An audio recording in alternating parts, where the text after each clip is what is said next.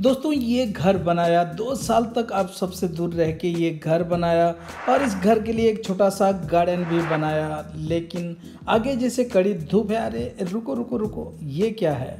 वाह बटरफ्लाई है इंटरेस्टिंग है ना? चलिए, आगे बढ़ते हैं।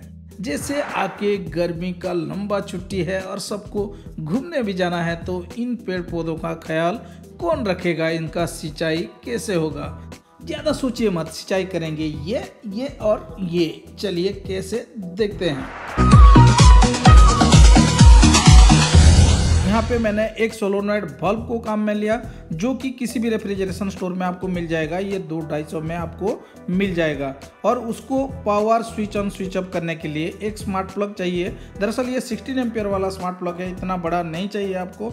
एक नॉर्मल 5 एम्पियर वाला स्विच ब्रेकर या स्मार्ट प्लग से आपका काम हो जाएगा, और जो कि फोर फाइव हंड्रेड में आपको मिल जाएगा। ये तरीका काम किया तो आपको सिक्स टू सेवन हंड्रेड में आपका टोटल काम हो जाएगा। दैट टू एक्स्ट्रा स्मार्टनेस मिल रहा है कन्वीनियंस टॉप लेवल का मिलेगा, क्योंकि टाइमर शेड्यूल तो आप कर सकते हैं ऐप के थ्रू दैट टू आप इसको स्विच ऑन स्विच ऑफ़ जो है, अपने कन्वीनियंस के हिसाब से, अपने मोबाइल से, जब चाहे, जहाँ चाहे वर्ल्ड के किसी भी कोने से कर सकते हैं।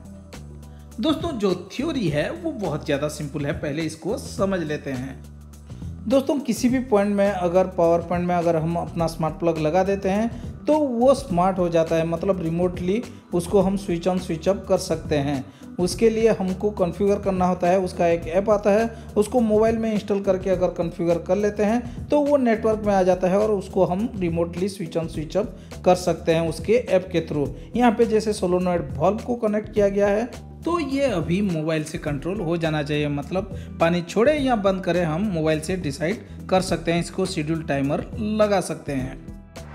प्रैक्टिकली समझें तो जो प्लग है, इसमें लग जाएगा तो जो पावर है सोलोनोड बल्ब को मिल जाएगा और स्मार्ट प्लग को हम रिमोटली कंट्रोल करेंगे मोबाइल से। मोबाइल में उसका ऐप इंस्टॉल हो जाएगा और इससे ये कंट्रोल हो जाएगा। इंटरेस्टिंग बात यह है कि मुझे सोलोनाइट बल्ब कैसे सूझा? दरअसल मैंने वॉशिंग मशीन में देखा कि ऐसा एक पॉइंट है तो यहाँ से पानी आ रहा है, बंद हो रहा है मतलब ये कुछ इलेक्ट्रिक से ही कंट्रोल हो रहा है। तो इसको अगर मैं कंट्रोल में ले लेता हूँ अपने ऐप के थ्रू तो यहाँ पे मैं जैसे ओक्टर ऐप के थ्रू अगर ऑन ऑफ़ कर सकता हूँ तो मेरा काम हो जाएगा, ये मेरे दिमाग में आ गया था। तो वहाँ से मैंने यही आइडिया लगाया और यही जुगाड़ आगे जाके क्या होता है, चलिए देखते हैं। दोस्तों, चलिए अब वेयरिंग कर लेते हैं। दरअसल ये जो वेयर है, मोटा है 1.5 पॉइंट mm का है। आपको इतना मोटा वेयर नहीं चाहिए। ये बचा हुआ था मेरे घर के काम से तो मैं इसको यूज़ कर ला, कर रहा हूँ। लेकिन आपको एक नॉर्मल सा वेयर चाहिए होगा वेयरिंग करने के लिए।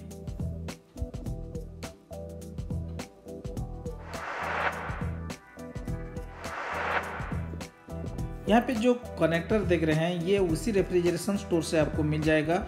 टू रुपीज़ में दो ठो वो दे देगा। इससे क्या होगा, अच्छे से ये कनेक्ट हो जाएगा। दैट टू आप जब चाहें इसको निकाल सकते हैं। और जो दूसरा छोर है, उसमें आपको प्लग डाल देना है, ताकि इसको पावर मिल जाए।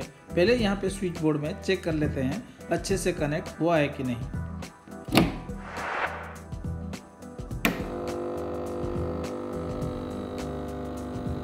ठीक है ना?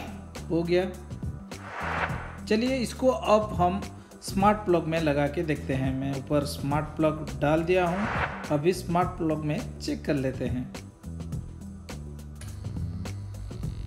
ये भी सही है। अभी तक तो सब कुछ सही चल रहा है। दोस्तों, आप यहाँ पे देख सकते हैं कि दोनों टाइप का कनेक्शन मैंने क्या है।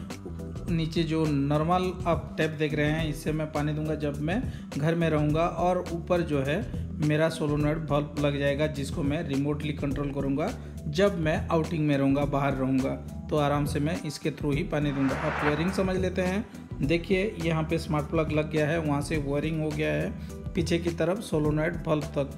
अब सोलोनाइट बल्ब भी लगा लिया है और उसको कनेक्शन भी मैंने कर दिया है, आप देख लीजिए। दोस्तों, अब सब कुछ सेट है एक्साइटमेंट टॉप लेवल में। डिग डिग डिग ये किया मैंने ऑन और ये पानी आ गया। मतलब हमारा काम हो गया, मेरा टेंशन ख़त्म। अब स्विच अप हाँ थोड़ा लेट हो रहा है शायद। स्विच अप थोड़ा लेट हो रहा है। स्विच ऑन भी थोड़ा लेट हो रहा है। दरअसल वो स्मार्टली वाईफाई में ट्रिगर कर रहा है तो जो टाइम ले रहा है उसी का है और वाटर भी थोड़ा मुझे फोर्स कम लग रहा है। शायद टंकी में पानी कम होगा। वो अगर सफिशेंट हो जाएगा तो सब कुछ सेट हो जाएगा। हमारा एक्सपेरिमेंट जो है सक्सेस है। इसमें कोई प्रॉब्लम नहीं है और कोई डाउट भी नहीं है। इसको एक प्रैक्टिकल अप्रोच देना है। बस अब समर वेकेशन में बिंदास घूमना है। आराम से कहीं से भी रह के गार्डन को जो है पानी देना है। दोस्तों, पता नहीं आपको ये वीडियो कैसा लगा, लेकिन फिर भी मैं जो मेहनत किया हूँ, दो साल के बाद मेरा जो आदत छूट गया था, उसके लिए आपका लाइक शेयर सब्सक्राइब बहुत ज़्यादा ज़रूरी है। मैं फिर से आप सबसे कनेक्ट होना चाहता हूँ और आपके लिए इन्फॉर्मेटिव वीडियो जो है बनाना चाहता हूँ। तो लाइक शेयर सब्सक्राइब ज़रूर कीजिएगा। मिलते हैं नेक्स्ट वीडियो में। तब तक के लिए खुश रहिए। जय हिंद।